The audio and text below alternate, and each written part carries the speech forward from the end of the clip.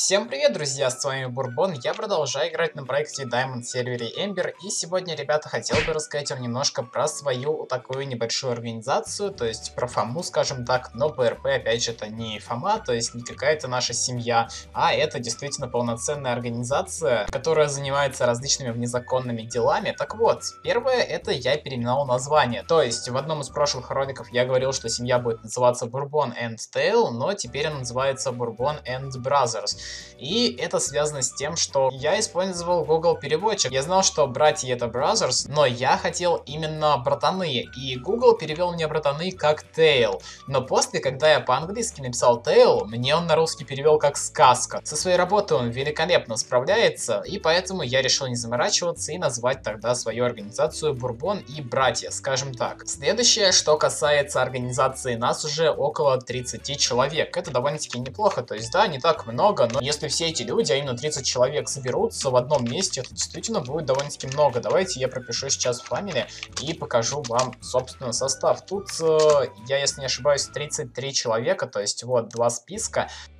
Если у вас есть желание попасть в Фому, я только рад, но, пожалуйста, не нужно мне писать «Бурбон, инвайт не Фому». Типа в игре вообще не надо, то есть сначала осуществляется все через ВК. Вы в ВК мне первым делом, сразу одним сообщением, желательно, чтобы не было дикого флуда, потому что иногда я просто на фоне слушаю музыку ВК и играю в какие-то игры. представляете, я играю в какую-то игру, и какой-то чувак начинает настреливать «Привет, я хотел бы Фому попасть. Начинает все скрины кидать, даже не одним сообщением, а кидает один скрин, пишет «Это лицензии», кидает второй скрин, потом другим сообщением «Это машина», кидает третий скрин, и потом опять же отдельным сообщением «Это мой скин». И то есть, понимаете, так получается много сообщений. Вот я играю в какую-то игру, не хотел бы отвлекаться, просто поставил музыку на фоне, чтобы было приятнее играть, и постоянные звуки ВК. Согласитесь, довольно-таки не самое приятное, что могло произойти, поэтому давайте договоримся так. Если вы хотите попасть в Фому, я только рад.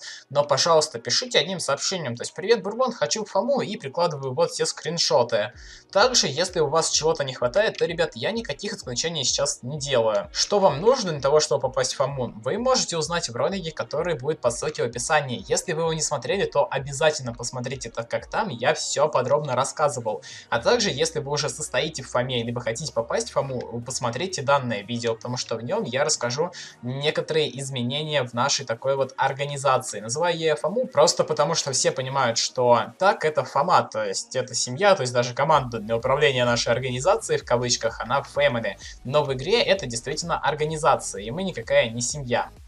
Теперь, что касается организации. За все время существования, небольшое довольно-таки время существования нашей организации, уже было проведено несколько таких неплохих РПшек, которые для Даймонда являются действительно хорошими и являются, знаете, таким вот на уровне, то есть не просто там поехали и убили там какого-то чувака просто чтобы посмеяться, а именно какая-то была IC-причина на то, чтобы что-то сделать, мы это сделали, и я все ролики выкладывал. То есть пока что было такие вот две РПшки, которые мы выложили. Вчера тоже прошла мини-РП, РПшка, где мы сначала собрались в клубе, после, после нашли тех людей, кто может поставлять оружие, им оказался один человек, ник, наверное, не буду называть, потому что, возможно, начальство может его за это наругать. Но думаю, ты прекрасно понял, о ком я говорю, поэтому тебе большой привет. И после, опять же, того, как он доставил оружие, оружие он действительно доставил много, тысяч пять дигла, около пяти тысяч тоже, по-моему, АК, где-то полторы тысячи МП5 и около 27 rifle а, то есть снайперки.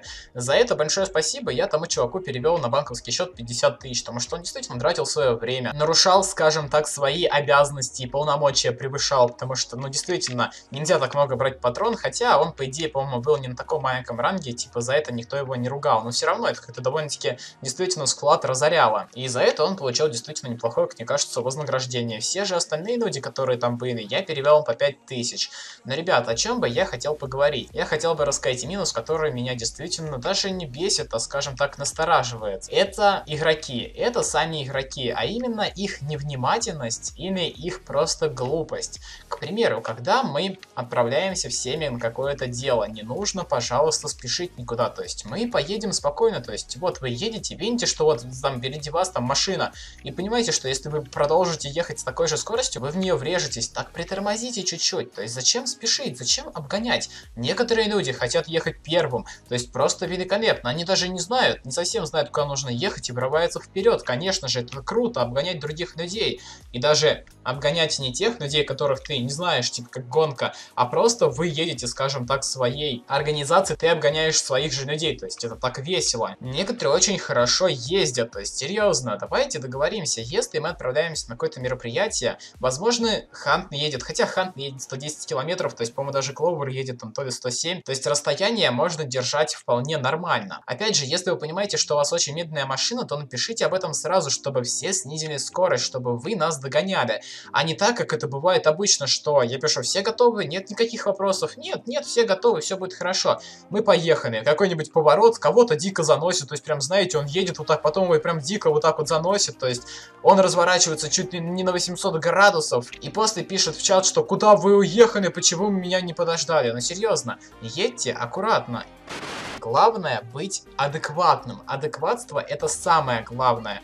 Потому что есть некоторые люди, которые чего-то, наверное, не понимают. К примеру, расскажу ситуацию. Вчера, когда мы поехали за оружием, какие-то дегенераты-копы начали сначала нас спасти, хотя мы ничего не делали. Я написал в слэшка, что парни, мы ничего не делаем, чтобы они ни в чем нас не заподозрили, снимите все маски и уберите оружие и не доставайте. Мы просто обыкновенные граждане, которые собрались тут. Но менты, они так меня взбесили, то есть они полнейшие дегенераты. К большому сожалению, я не запомнил их никнеймы, потому что я бы хотел их запомнить и покарать, потому что они полнейшие имбецилы и другого, то есть вот, ну серьезно, я сейчас ехал, да, по встречке, но он тоже гнал по встречке, ну почему бы, почему бы действительно не врезаться, зачем пытаться объехать меня, если можно влететь?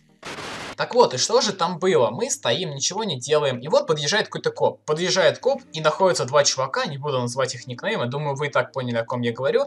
Именно вы поняли, я обращаюсь к тем парням, которые сделали это. Они берут, достают оружие и начинают сразу нацеливаться. А то, что я буквально две минуты назад говорил о том, что мы просто граждане, которые тут гуляем и ничего не ждем. А там мы ждали, пока нам тот э, чувак, который находится в армии, привезет патроны. То есть мы договорились там встретиться около перформанс-тюнинга. И действительно, когда тебе сказали, что мы просто гуляем, то есть зачем стрелять? Конечно же, нужно достать оружие и сразу нацеливаться, хотя тот коп, он даже ничего не говорил, он просто вышел.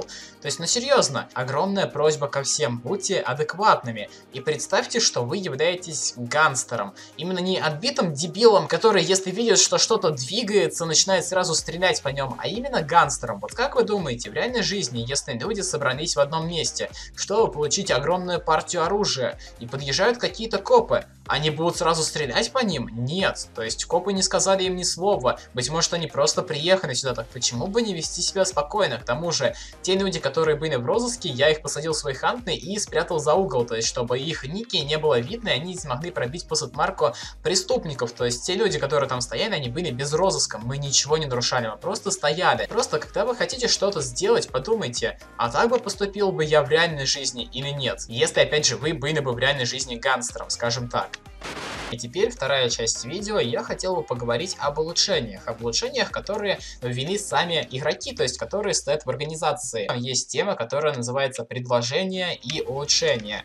Там некоторые люди предлагали различные МПшки, о них я сегодня говорить не буду, я просто расскажу об улучшениях, которые писали люди и которые будут действительно добавлены в игру. Опять же, не в игру, а просто в нашу фракцию. То есть, понятное дело, я не могу связаться с разработчиками и предложить то, что там могли написать не какие-то люди. И улучшение может написать любой участник клуба, который попал в эту группу. То есть, если вам есть что предложить насчет мероприятий, либо насчет каких-то изменений там фоме, то есть, если у вас есть какие-то предложения, вы можете их писать, потому что если они действительно хорошие, которые мне понравятся, там, скажем, изменения, это изменение будет введено в фому, либо если мероприятие хорошее, которое вы предложили, оно тоже будет в фоме проведено. И некоторые, ребят, сообщения я удаляю, чтобы там не было больших количеств сообщений, чтобы потом нужно было найти самое главное. Я удаляю те, которые мне не нравятся по какой-либо причине, и я считаю, что они просто не нужны.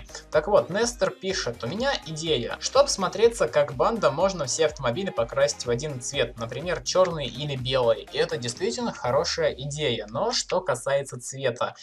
Я опубликую в группе ВК, в закрытой группе, чтобы могли голосовать только участники клуба, то есть те люди, которые принимают участие в нашей организации. И там, скорее всего, будут цвета такие, как черный. На самом деле, черный, он неплохо, то есть можно было бы сделать все автомобили черным, но он довольно-таки банальный. То есть уже общепринятое мнение, что черный цвет является такой там бандитский, мафиозный и так далее. Но хотелось бы как-то выделяться, поэтому я бы, наверное, сделал красный, не знаю. Но, опять же, мы будем опираться на мнение участников. И там будут такие цвета, как фиолетовый, зеленый, желтый, красный, белый и черный. То есть такие вот цвета. И каждый участник проходит голосует за понравившийся ему цвет.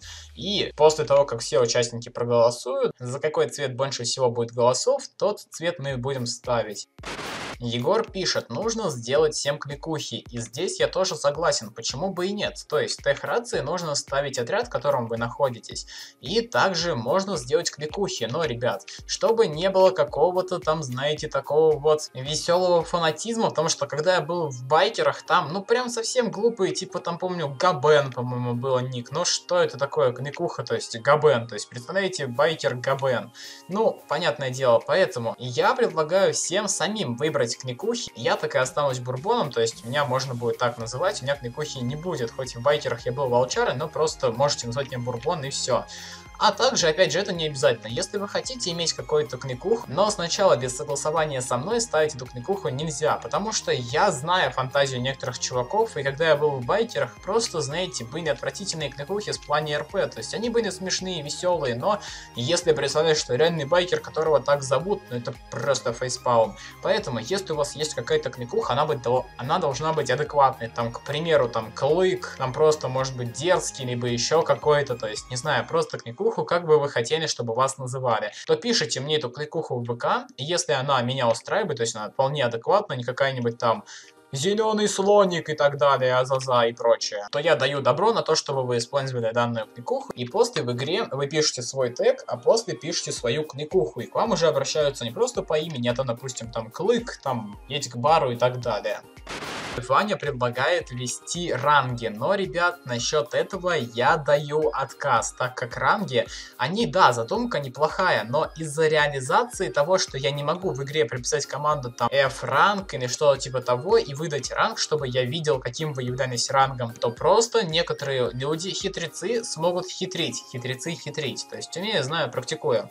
Так вот, к примеру, я инвайтнул какого-то чувака, скажем, и вот там прошло пару дней, опять же, все ники тех, кого я инвайтил, Райчу я попросту физически не могу запомнить. И он подумал, окей, почему бы я не напишу себе то, что у меня второй ранг, хотя я ничего не делал.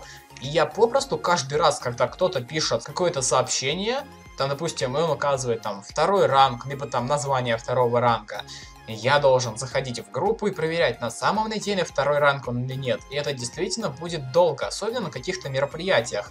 А какой смысл от рангов, если их можно попросту накрутить? Я об этом не буду знать. Поэтому, чуваки, из-за того, что данной функции в нашей фоме нету, рангов не будет, так как за этим уследить всем очень сложно. Да и к тому же особого смысла это не имеет, так как у нас иерархия следующая. То есть я, получается, ПРП босс. Да, это немножко как-то ЧСВшно звучит, но серьезно, я играю роль босса, потому что организация, собственно, Bourbon and Brothers, она моя. Арнольд Блэк является вице-президентом, скажем так, нашего клуба, или же правой рукой босса. А все остальные участники, они равноправны, и то есть у них нет каких-то высших возможностей, потому что, опять же, я знаю, как это работает в байкерах. Какой-нибудь трейсер начнет просто не из-за того, что действительно по делу гнать на проспект, а из-за того, что он хочет почувствовать власть. То есть он будет просто гнобить проспекта, потому что он трейсер, он пятый ранг, если я не ошибаюсь, и трейсер пятый ранг в байкерах.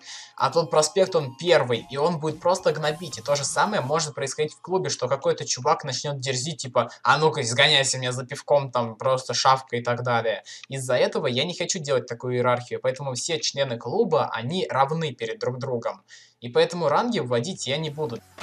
И да, ребят, хотел бы сказать еще насчет одной вещи. Клуб создан не для выпрашивания денег. Чуваки, заработайте сами. Серьезно, как бы это глупо и банально не звучало, но некоторые этого не понимают. Если им не хватает какого-то числа денег, вместо того, чтобы пойти куда-нибудь и заработать их, самим они начинают выпрашивать деньги. И вымогательство, или выпрашивание, или просто спросить там, отдашь денег, оно в семье запрещается. Потому что суть семьи была в другом, чтобы люди получали удовольствие от игры и разнообразие свою игру вступив в такую организацию. Потому что, мне кажется, те РПшки, которые проводим мы, их даже либо редко, либо вообще не проводят даже другие мафиози. Поэтому наша организация, она такая, ну, как мне кажется, более-менее разнообразная. И, опять же, в ней могут принять участие все члены клуба. Если тебе не нравится что-то, ты можешь предложить. Опять же, я не говорю, что если ты предложишь, что стопроцентной вероятностью это изменится. Нет, но если твоя идея покажется мне адекватной, и она мне понравится, то это изменение вступит в силу, об этом ты узнаешь либо в ролике, либо в группе Ну и такое вот получилось видео, поэтому всех желающих жду в семью. Кто не знает критерии, можете посмотреть ролик, который будет первый по ссылке в описании. А на этом, ребят, наверное, все. С вами был Бурбон. Большое спасибо за просмотр. Всем пока.